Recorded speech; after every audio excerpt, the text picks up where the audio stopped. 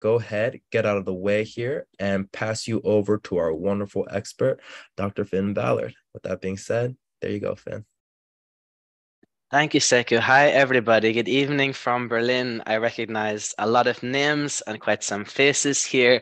Hi to those of you I know, and for those of you I've not yet met. Hi, everybody. My name is Finn. I'm from Ireland, but I live here in Berlin, Germany. And here I lecture on Berlin history, German history, teach and guide lots of tours with context, and also work on the context conversations. So this evening, this is a little bit of a teaser of the conversations for those of you who are new to them. They are normally much longer, 90 minutes long. Uh, you'll be pleased to know you only have to listen to me this evening for 30 minutes. But of course, we have an incredibly fascinating topic, to say the least, unveiling Oppenheimer's legacy, our talk's been called. Ah, Rona's not getting any audio. Okay, gosh, what's happening there? Hmm. Is that on your end, maybe, Rona Seku?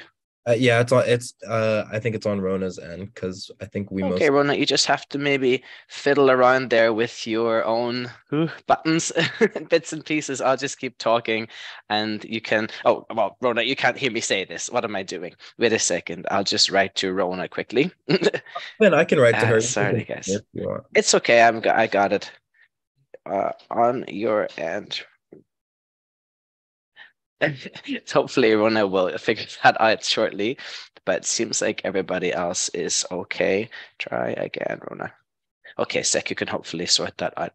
But hi everyone. Good evening. Hope all the rest of you can hear me. Hope rona will soon be able to hear me as well. And thanks so much for joining me for this short discussion of the life and career of J. Robert Oppenheimer. So, what's prompted this talk this evening? These live streams always have a topical association, is of course the brand new movie of which you've maybe heard, directed by Christopher Nolan. So, I wanted to begin, in fact, with talking about the movie itself. So, as you see, the movie is coming out in just a couple of weeks on the 21st of July, at least the US release. It's by indeed Christopher Nolan like I say, you might know of him. I'll just speak about the movie for a moment before I get into, in, into talking about the life of Oppenheimer. But Christopher Nolan, as you might know, has made a lot of blockbuster movies. He's the director of the Dark Knight Batman movies, but also a couple of movies pertaining to World War II. Well, in this case, Oppenheimer, and also the movie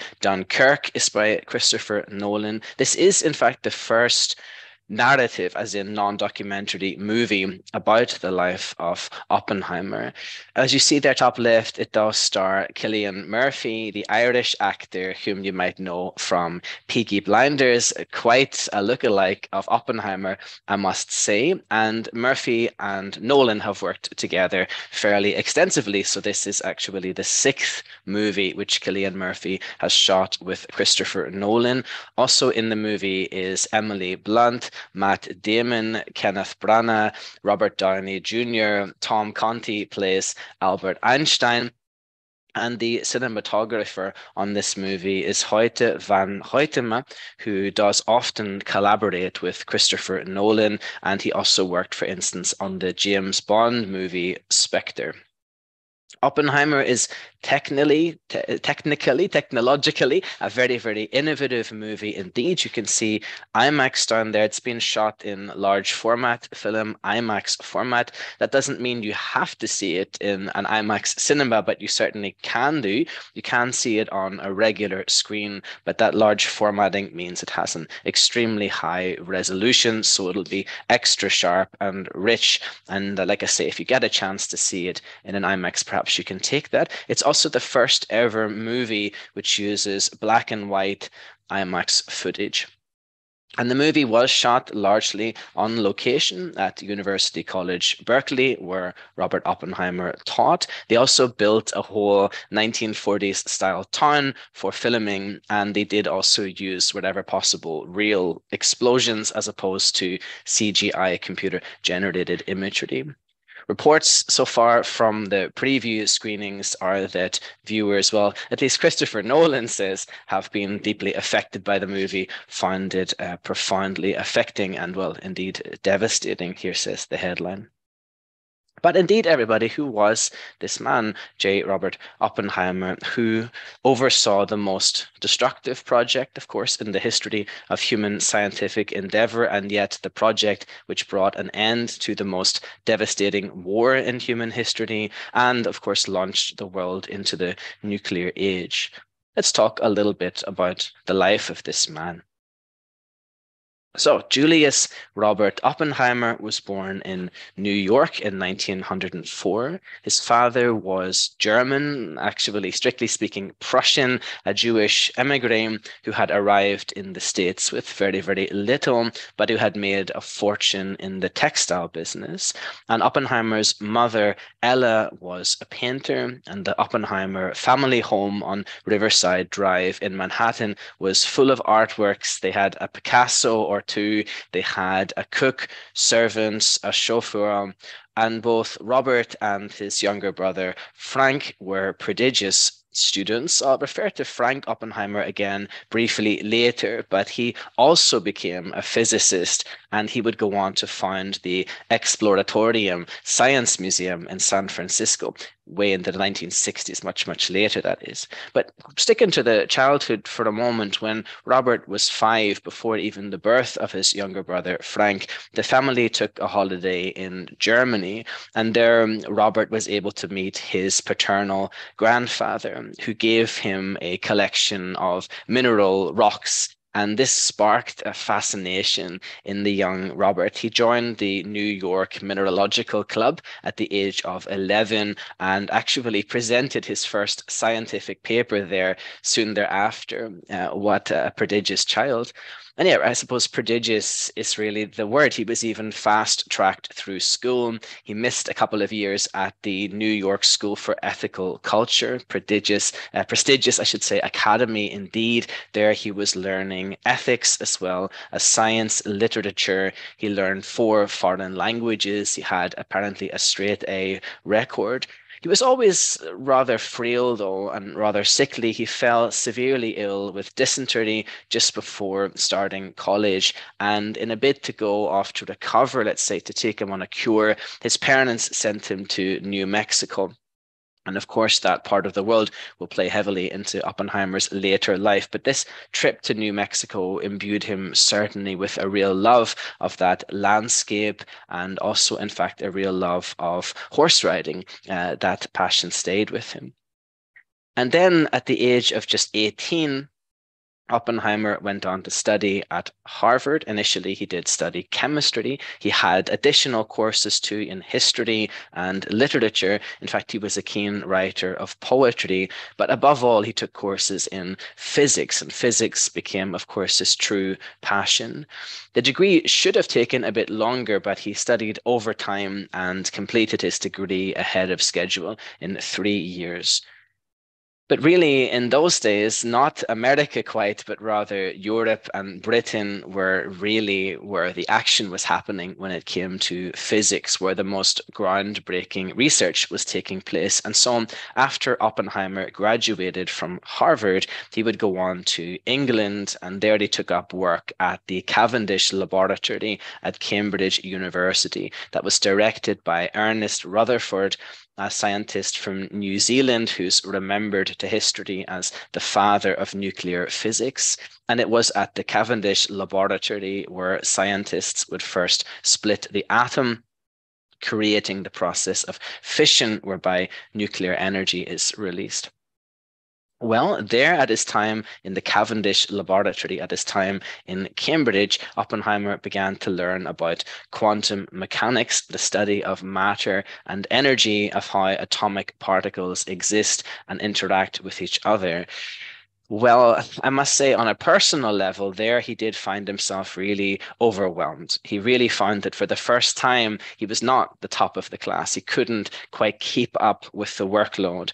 He certainly did not win too many friends at his time in during his time at Cambridge. In fact, he got into a huge amount of trouble. He was nearly kicked out of the school. It's quite remarkable, really, that he wasn't after leaving a poisoned apple, an apple he had laced with some rather noxious noxious chemicals on the desk of his tutor, a guy called Patrick Blackett, who, as you can imagine, was no particular fan of his young student Oppenheimer. But that does give you some idea of the personality of Oppenheimer, particularly at that time in his life, in his youth.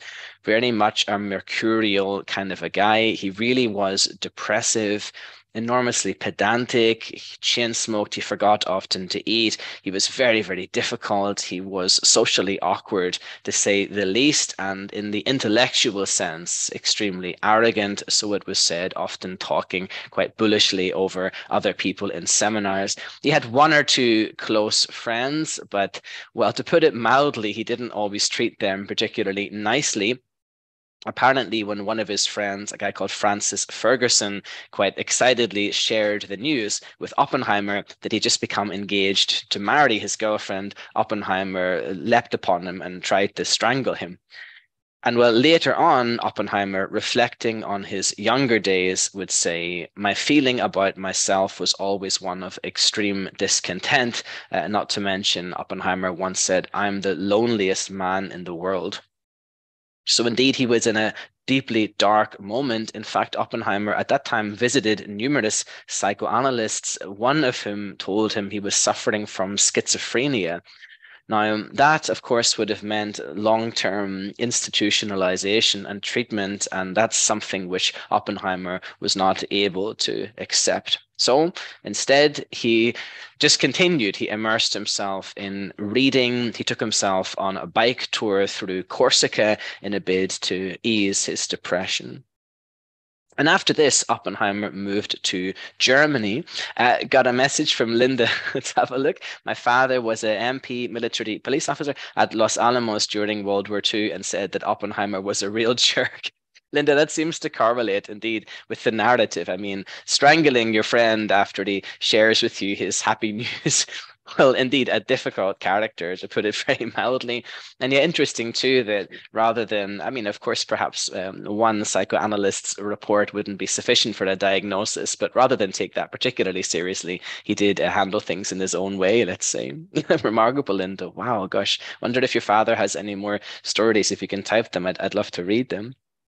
And yeah, after this, like I say, Oppenheimer, in fact, moved to Germany and to study then at the University of Göttingen. And that really was one of the best centers in the world for theoretical physics, the branch of physics that tries to explain natural phenomena, tries to understand the very matter and nature of the universe itself. And curiously enough, although he had been very daunted by Cambridge, he really hit the ground running in Göttingen. He was mixing with the leading names in that field, including, of course, a name that you'll likely know, that of Werner Heisenberg, who was soon to be awarded the Nobel Prize in Physics for the creation of quantum mechanics. And then this written, he refused your dad to say more, but did become a physicist himself after leaving the army. Wow, Linda, because of course we'll talk about that a bit later. The army and the scientists were not quite tessellating, but they were, of course, living side by side at Los Alamos. That's remarkable, Linda. Gosh, thank you. Wow. And during his time at Göttingen, there Oppenheimer obtained his doctorate in 1927. Again, Linda's dad said he was a real jerk. Apparently, the professor who administered the oral exam said at the end, I'm glad that's over. He was on the point of questioning me. But certainly, Oppenheimer had a reason to be confident. He was already becoming reputed as one of the leading physicists in Europe over the course of two years, published 16 academic papers. At this stage, researching the theoretical study of neutron stars, black holes, and really becoming one of the foremost, like I say, theoretical physicists of his time. And so at this stage, you could say American universities were really climbing over each other to recruit scholars trained at these European institutes, particularly at Göttingen. And Oppenheimer very quickly was offered a job teaching physics at Caltech in Pasadena, also one teaching at the University of California, Berkeley. And for the time, the two schools had to share him talking as well about New Mexico, a place that he'd loved since youth. If you remember, he did begin to rent a cabin in New Mexico. Later on, he was able to purchase that cabin. And apparently, when told that it was for sale, he said hot dog. And so he called the cabin Perro Caliente, uh, hot dog in Spanish. And then in 1929, he took up his full time teaching work with Berkeley. And Berkeley, due really to Oppenheimer, would gain a reputation as the leading institute in the country for physics, but also due, I must say, to the, the reputation of other scientists working there at the time, including his friend Ernest Lawrence, who would later win the Nobel Prize for Physics. Now, as a teacher, well, he was not the best success at the beginning. His lectures were packed out at the beginning, but he found himself a terribly awkward communicator. He found it very hard to articulate his thoughts in any comprehensible way. He talked mostly to the board and not so much to his students. And it's said to be at the end of his first semester, only one student was left after all the rest had dropped out. But certainly he figured it out. He mastered teaching. A lot of his students, as the months went by, would go on to become real devotees of Oppenheimer. In fact, he became almost a cult personality at the college. They began to call him Opie. His uh, de- devoted students, they adopted his body language, probably also his chain smoking, his speech patterns. They called themselves Opie's boys. And he came to really relish that. And he would stay after hours for long discussions of science, but also art, literature, languages, philology, classical uh, philosophy, Hindu mythology, for instance. And he went on still publishing extensively. He gave Berkeley a reputation as one of the world's leading centers in quantum physics research. Then in 1936, he began a relationship for the first time, this time uh, with a medical student. There would be more women later in his life, and a Communist Party member called Jean Tatlock. And Tatlock encouraged him to become engaged for the first time in his life, really, in politics and current affairs. So this was a man who had never owned a radio nor a telephone, and certainly he had the money to afford those things, but he simply had no interest or no time, really, to engage in current affairs. In fact, it's said to be being as wealthy as he was, he was rather immune to the effects of it. But it had taken him months to learn about the Great Depression, to learn about the Wall Street crash. But particularly with discussions with Tatlock, he was becoming ever more aware of the state of the world, let's say. I mean, we're talking about the mid to late 1930s here, particularly aware, of course, of the suffering of the European Jews. Now, he was, after all, from a Jewish family, albeit indeed a non practicing Jewish family, let's say. But he was joining now a leftist discussion at Berkeley. He was becoming ever more engaged, let's say, with leftist theory.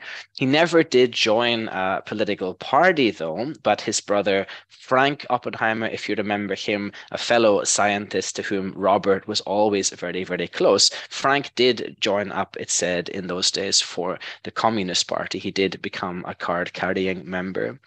Robert said he had never voted in any election until the presidential election of 1936.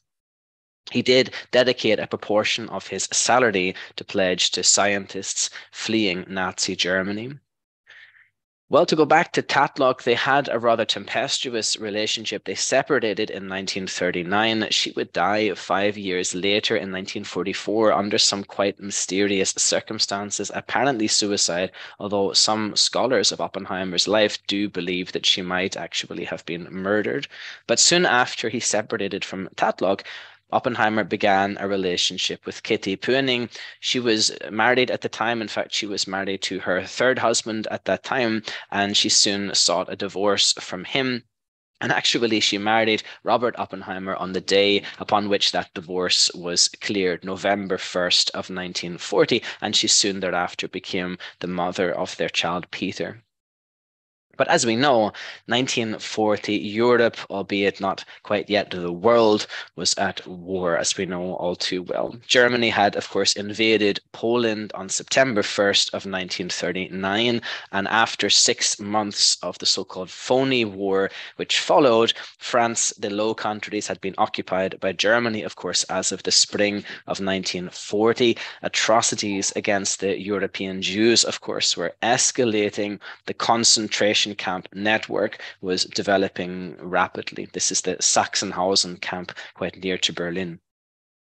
Then on December the 7th of 1941, as you know, Japan would launch its surprise attack against the US at the US naval base at, of course, Pearl Harbor in Hawaii, and the USA would abandon its neutrality, declaring war on the Japanese Empire, after which Nazi Germany, as an ally of Japan, would, of course, declare war then on the USA. And now we really can talk about World War II.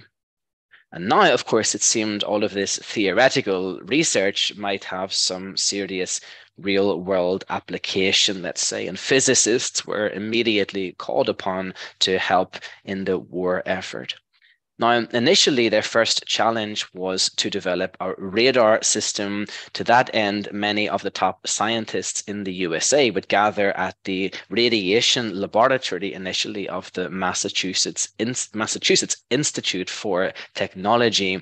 But before too long, it was tasked to them to begin to work on the development of a nuclear bomb.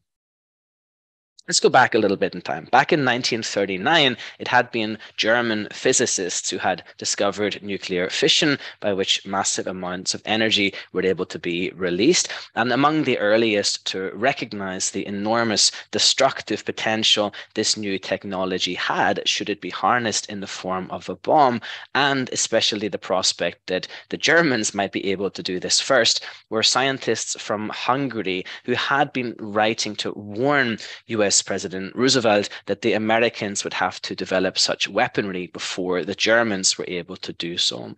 But these rather minor scientists couldn't find themselves taken particularly seriously. And of course, it was the heavyweight scientist on the left, he needs no introduction, Albert Einstein, whose attention they finally caught. And as we know, Einstein was himself a Jewish German who'd settled in the USA.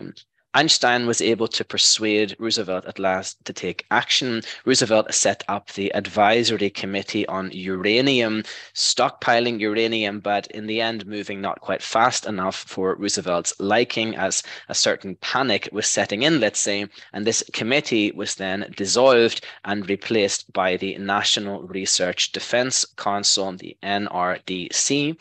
And well, as Linda was intimating there, overseen by the US Army, of course, the director of the National Research Defense Council was Brigadier General Leslie Groves, who's going to be played, who is played, by the way, by Matt Damon in the upcoming movie Oppenheimer. Now, so as not to give away the specific purpose of this council's research, an innocuous name was dreamt up. And of course, you already know what that name was. Of course, the Manhattan Project. Oppenheimer had been conducting his own research into, let's say, let's say his private research into nuclear physics for years. He was very, very keen to get involved in this project, to sign up and to play his part in protecting American security. And in 1941, Oppenheimer was invited to a top secret meeting to brainstorm indeed how a nuclear bomb might be built. And he soon found himself put in charge of a group of physicians tasked with designing such a bomb. At that stage, that particular team were not yet part of the Manhattan Project, but they officially became part of it as of July of 1943. And the Manhattan Project was based, of course, in many different locations, would have laboratories located around the USA, each with their own particular specialisms. And like I say, the biggest challenge that the project had really was how to design the bomb itself. And this design or this challenge, sorry, would really lie then primarily with Oppenheimer. As Linda mentioned there, the main base, of course, was indeed Los Alamos, deserted area in New Mexico, which Oppenheimer chose. He was the one to select it. And of course, it would become his home for the next three years.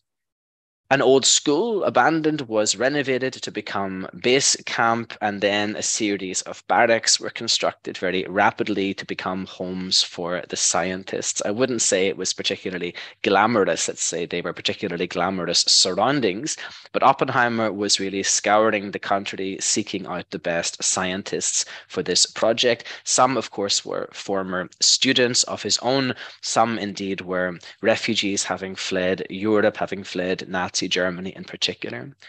Oppenheimer initially sought out 30 scientists, 30 scholars, but far more than that volunteered their service. And so by the end of World War II, there would have been something close to 6,000 people living at Los Alamos working on the project, but also those who'd brought their families in too, and really maintaining full energy, devotion to this project despite the terrible heat, no doubt, and like I say, rather rudimentary living conditions. But what was maybe even more difficult for some then the environment itself was the constant surveillance by the army. So Oppenheimer was certainly kept under very close observation at this time. He had really no privacy. His phone was tapped, his letters were read, and he was constantly being followed. So he had an awful lot of demands placed upon him, not least this surveillance, but also the fact that he really was the mediator, let's say, between the scientists themselves and the army. But Oppenheimer did not lose um, his energy, let's say. He constantly was reminding himself and his scientists not to despair, to keep the bigger picture in mind that they were involved in a struggle for the very future of mankind. And well, as we know, by February 1945, indeed, the scientists at Los Alamos had come up with, of course, two different designs for the atomic bomb. And I think you'll know what they were codenamed. Of course, there was Little Boy and Fat Man.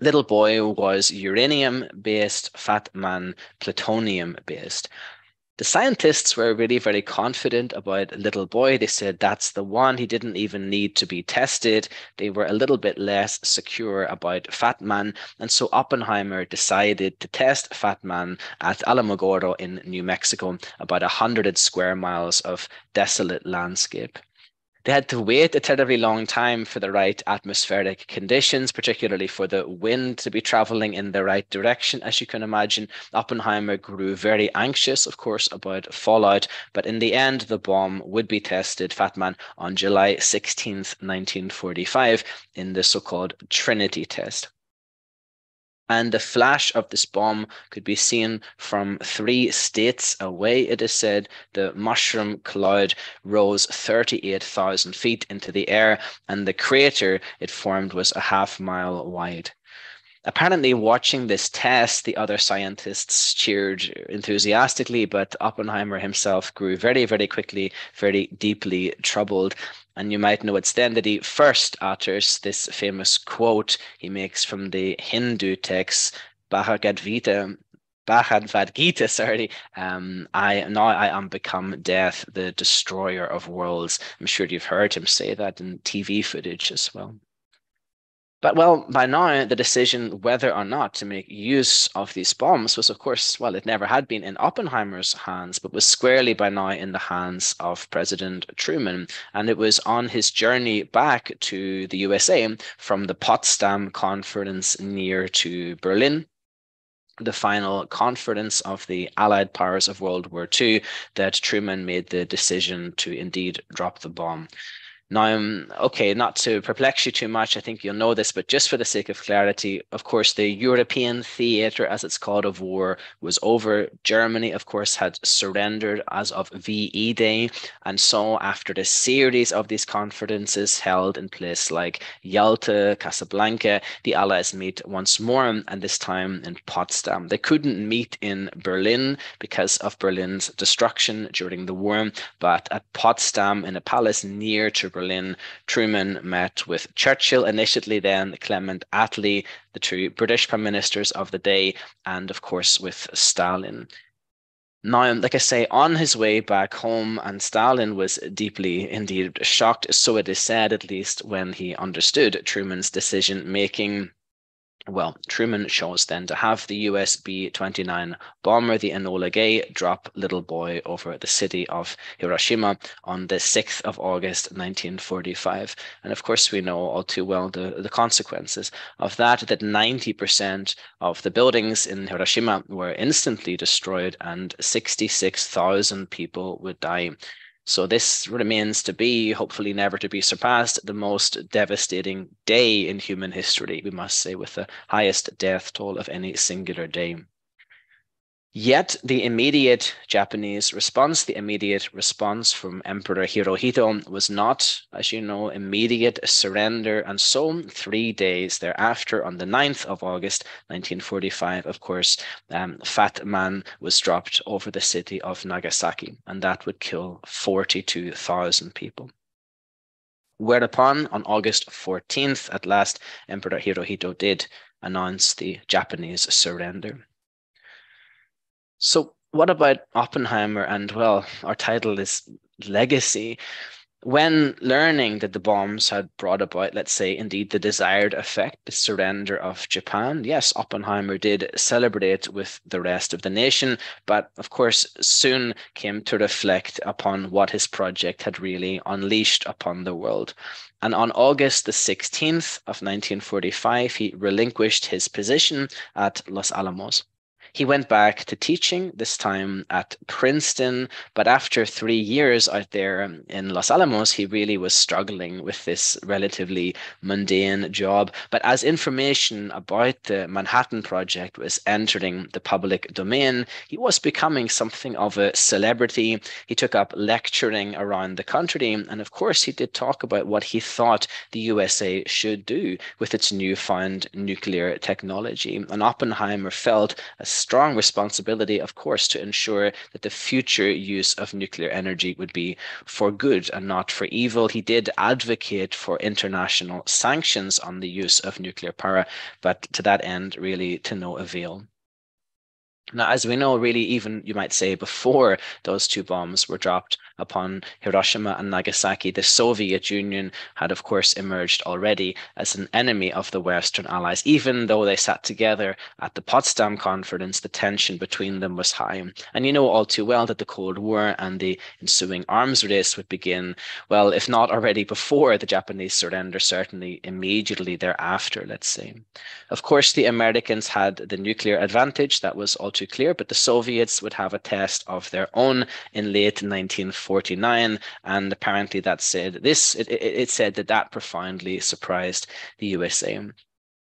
It did also lead to beliefs that perhaps spies had shared vital information with the Soviets. And due to his former dalliances with leftism, Oppenheimer did immediately really come under suspicion after that Soviet nuclear test in 1949 when he had filled in his personal security questionnaire for clearance back in 1942, apparently Oppenheimer had written he was a member of just about every communist front organization on the West Coast, which of course he later said was simply a preposterous joke. But word was beginning to spread now through the 1950s about weaponry far, far more powerful than that which had been deployed over Japan. Uh, and really, as early as 1952, the concept of a bomb 1,000 times more powerful than that dropped upon both Nagasaki and Hiroshima was, uh, well, all too clearly evident, let's say. The hydrogen bomb, the prospect of which Oppenheimer vehemently opposed. He saw the hydrogen bomb as a potential weapon for genocide, but with with President Truman adamant to continue the hydrogen bomb, Mike was tested in 1952. In November of 1953, the FBI received a letter from a former government official alleging that Oppenheimer was indeed a Soviet spy. He then found himself one of the central targets of McCarthy's witch hunt, as it was known. His security clearance, of course, was immediately revoked, and it was clear he was really being investigated for his opposition to Mike to the testing of that hydrogen bomb. But he was nevertheless permanently now shut out of any involvement in um, future government projects, with an investigative report citing proof of fundamental defects in his character. And by 1963, he would be somewhat rehabilitated. He was decorated in that year with the Enrico Fermi Award for Excellence in Nuclear Research, but he certainly never did recover from the humiliation he had sustained through the 50s. And Oppenheimer passed away on the 18th of February 1967 of throat cancer at the age of 62.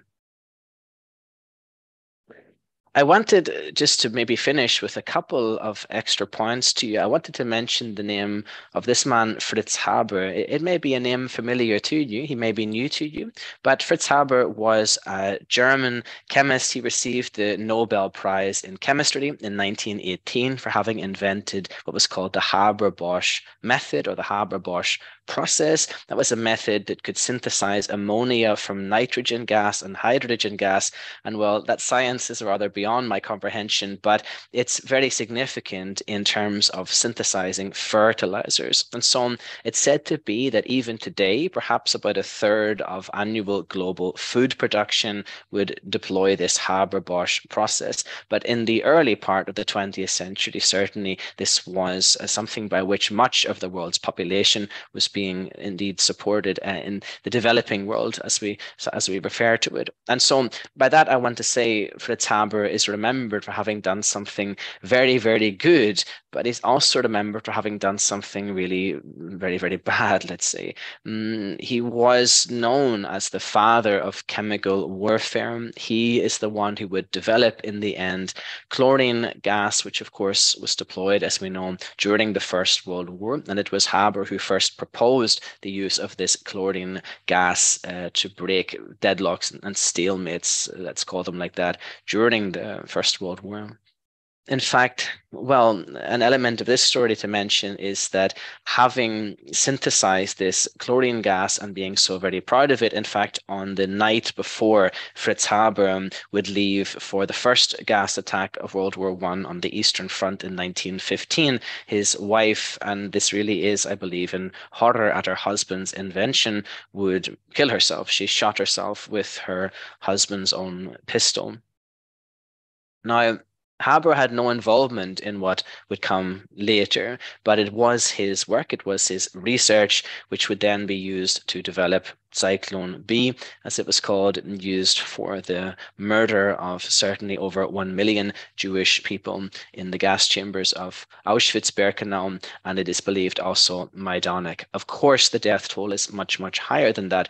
I just mean in terms of this specific gas there were other methods that same uh, deployed in the gas chambers most usually exhaust fumes but the very notion of murdering people with gas is something that of course the nazis really inherited from world war one let's say. And so it's a very peculiar thing that on one hand fritz haber did so much good for the world and on the other did something so absolutely devastating. And he was himself from a jewish family so after the nazis would rise to power he also was expelled from his position in the Academy of Science in Berlin due to his Judaism. He died in 1934. I just wanted to mention that name to you, and really to finish, I thought it's a very much side note, but just should you be a fan of the actor Cillian Murphy, whose face we saw earlier, the guy who's playing Oppenheimer in the upcoming movie, just for you to know that if you are a fan of that Irish actor, there is another movie about World War II in which he stars that you might really like. A different director, not a Christopher Nolan movie, but a movie called Anthropoid.